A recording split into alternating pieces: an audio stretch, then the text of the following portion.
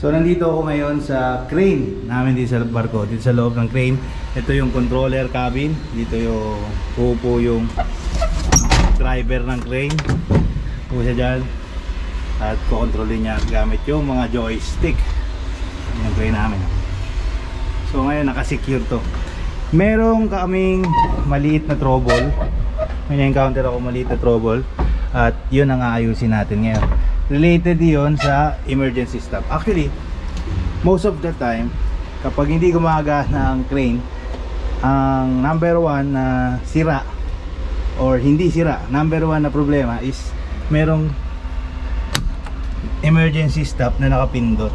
So pag nakapindot ang isang emergency stop, kahit anong gawin mo, ay hindi mo mapagana kasi puputulin ito yung contacts para sa control circuit. Kasi nga emergency stop siya. So if ever may emergency, kailangan mo itigil yung operation, pipindutin mo yan. So dito sa crane namin, meron kaming apat na emergency stop para sa isang crane. At yung apat na yon is konektado sa series. At isa man sa apat na switch na yon ang bumigay or nakapindot, hindi mo mapapagana ang crane kahit anong gawin mo kasi naka-open papunta sa control circuit nakapindot yung emergency stop so yan ang isa sa emergency stop. Yan ang isang location dito sa loob ng cabin.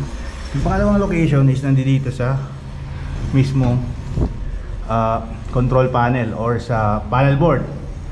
Yan emergency stop release. Yung dalawa is nandoon sa hagdan. Mamaya papakita ko sa inyo. Kakat ko yung video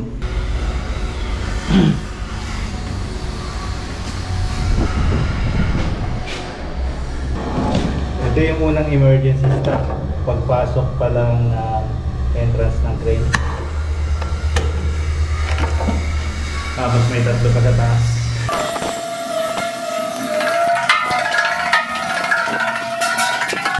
ito yung pangalawang emergency stop. Nandito sa may hagdanan. Yan. Na naka-stop naka-release naka-release. Normal operation. Stop. Release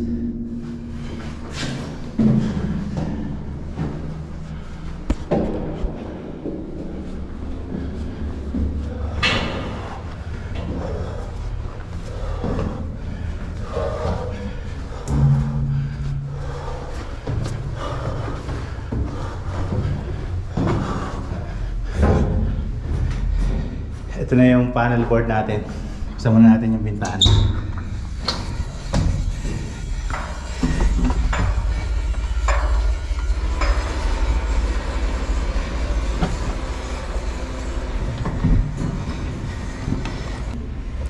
bago pumasok ng crane tapos yung isa nasa gitna packet dito sa ladder din na area.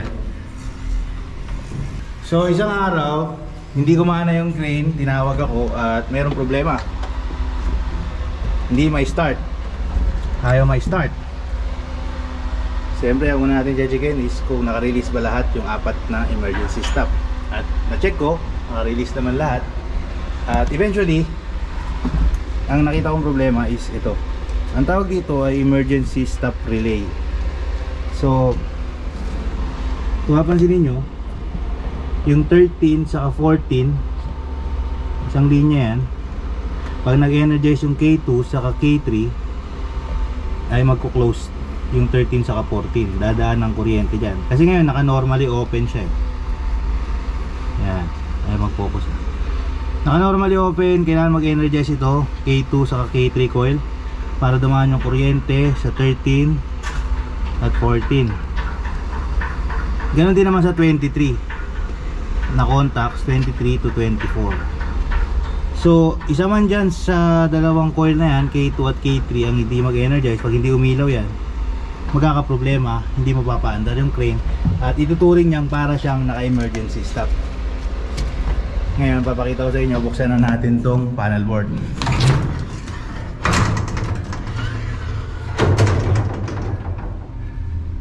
So ngayon ayan umilaw na umilaw yung ating K2 saka K3 pero yung contact niya is hindi nagko-close. Si 13, 14 saka si 23, 24 nung tinest ko yan ay hindi nagko-close. So kung mapapansin niyo meron akong bypass wire dito.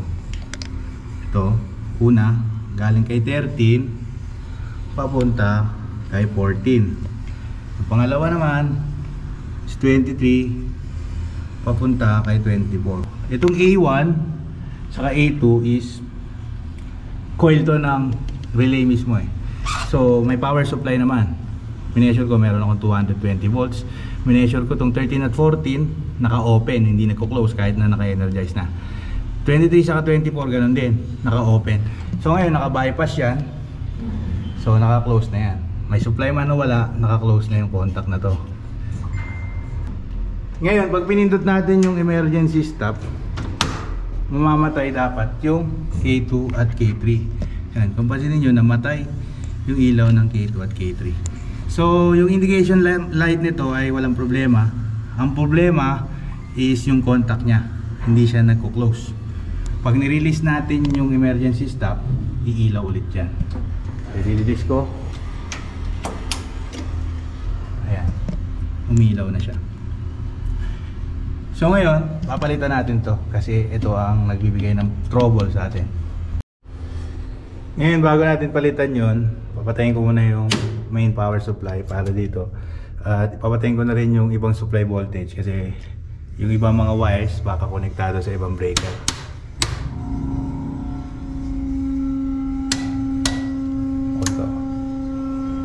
So yan. Ngayon, tatanggalin natin yan at papalitan na natin. So usually, bago ko yan binabaklas, pag nagpapalit ako ng kahit na anong mga kontakto, relay, circuit breaker, basta marami mga wires, minamarkahan ko yan. Or sinusulat ko, or pinipicturean ko para pag ibinabalik ko na, hindi ako malilito. So, ito naman, meron naman siyang mga tagging. So, ayan, may number naman siya. Nakasulat, 13, 23, S12. So, hindi ko na kailangang markahan. Pag binalik ko, madali ko lang siyang may babalik kasi may mga tagging na yung wires. Pero if ever walang tagging, uh, i-drawing ko muna yan, isusulat ko para sigurado ko pag binalik ko, kung paano ko binaklas, ganun ko din ibinalik. So, lagi naman ako may dalang cellphone, most of the time pinipicturean ko lang din para pang kahit may tagging pa yan, if ever accidentally matanggal yung tagging habang kinakalas ko yung wire, is meron pa rin akong backup na reference. Although, matitrace ko naman kung saan galing yung mga wire na yan. Kaya lang, magtatagal kasi yung trabaho if ever matanggal to. Tapos hindi ko na alam kung saan ko ikakabit. Ititrace ko pa. Babasahin ko pa yung drawing, tapos hanapin ko dyan kung alin sila dyan. Papunta doon. So, ititrace ko pa yung wiring. So, kapag uh, ititrace ko yung wiring, pwedeng mabilis ko lang mahanap, pwedeng matagal ko mahanap, pwedeng matagal ko makita.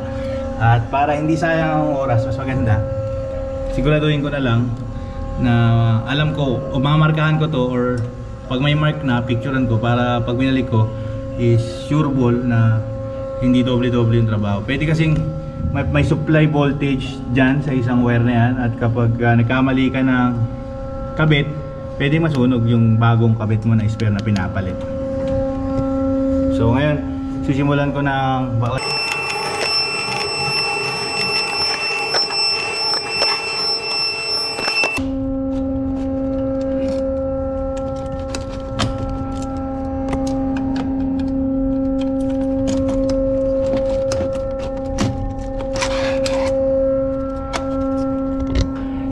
So nabakasan natin yung luma, mapapansin nyo naka-mount lang din siya sa rail. So ito lang yung So ito lang puti, ito lang yung niluluwagan para mabaklas ko siya. Sundutin lang yun, tapos iangat, tanggalan natin. Ngayon kakabit natin yung bago. So ito yung bago, iipit lang din to doon sa reel. Ayan. Bulak, pababa. Okay. So ngayon babalik na natin.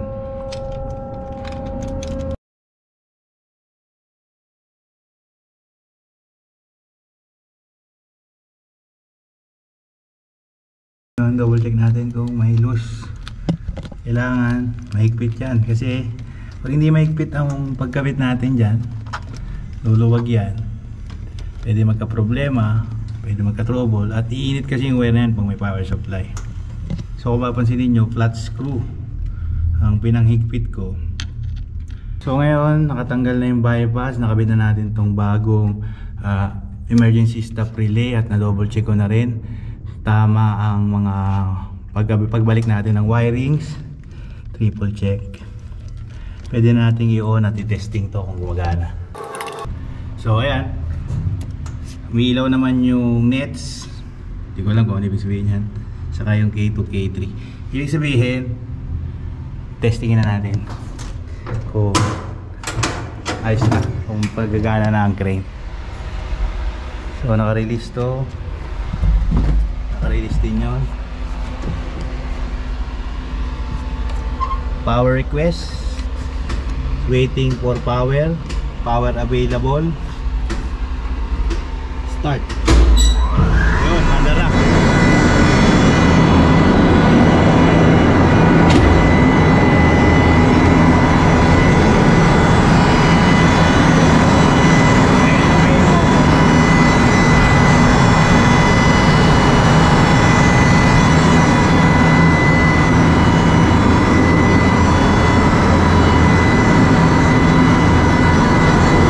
Testingin natin kung gagana yung emergency stop. Dapat tuminto yung motor. Ito yung amperahe ng motor. Nasa 100. Stop, gumana. Ibig sabihin, gumana tong switch. At ito naman yung may problema natin dati. Gumana rin yung ating kinabit na emergency stop relay. At papansin niyo nawala na yung ilaw ng K2 at K3. Ibig sabihin, naka-activate yung isa sa ating mga emergency stop. So sabi ko nga, meron tayong apat na emergency stop. Isa man sa emergency stop na yan ang nakapress ay hindi gagana ang ating crane.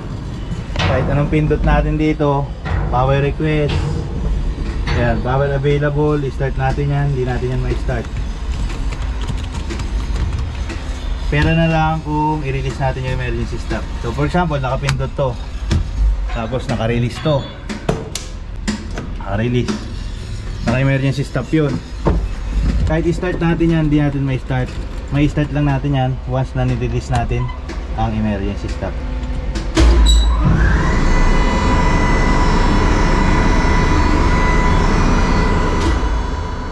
So paano mga kalegi, maraming salamat sa panonood at tapusin ko na muna ang video natin for today. Nawa kahit paano ay nag-enjoy kayo sa konting trouble na na-share ko regarding dito sa emergency stop at emergency stop relay. Tatapusin na natin ang video ito. Thank you very much for watching. Hanggang sa muli. Paalam.